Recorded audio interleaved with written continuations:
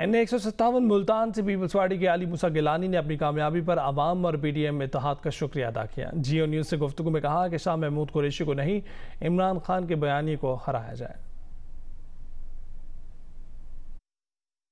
मैं इन सब जम, इस मुश्तर हुकूमत के लीडरान का एक सिपाही था, जिसने एक साबिर शाकिर तहमल वाले पाकिस्तान की जंग लड़ी है। इमरान खान के प्रोपोगंडे के ख़िलाफ़ जो झूठ पर मबनी था, मैंने इस पाकिस्तान को एक पोलराइज सोसाइटी, नफ़रत की आग में जो पीटीआई और इमरान खान हमारी नस्ल को धकेल रहा था। मैंने उसके ख़िलाफ़ ये जंग लड़ी है और मैंने उस आग को बुझाने के लिए ये एक कतरे की बुनियाद लड़ी है और मैं तमाम पार्टी अपने वर्कर्स का, मैं अकेला तो लड़ ही नहीं सकता था।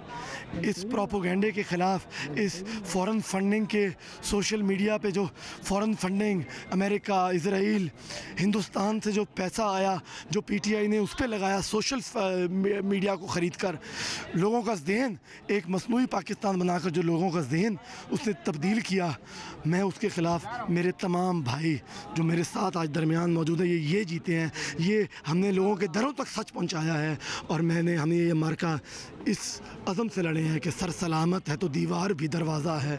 एक बर के बला कौंद गई सारे चमन को, एक बर के बला कौंद गई सारे चमन को। तुम खुश कि मेरी शाख नशे मन ही जली है। इमरान खान जो ये आग लगा रहा है, इसको वक्ती तौर पर इसका फ़ायदा हो सकता है, लेकिन हम सबने चले जाना है। ये पाकिस्तान है, जो ताक़यामत कायम दायम रहेगा।